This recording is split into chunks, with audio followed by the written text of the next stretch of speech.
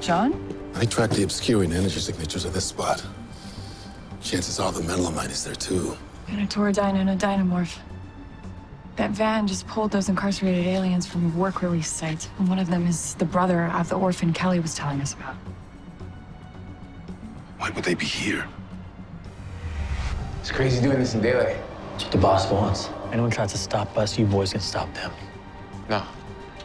No, you can make us steal, but we don't hurt people. You do as you're told, or the one getting hurt is you.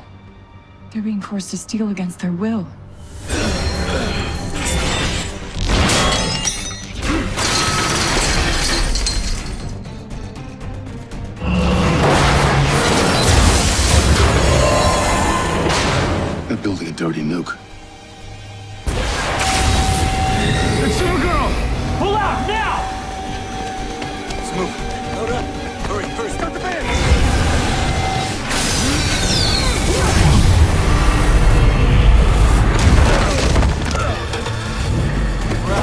Hit it.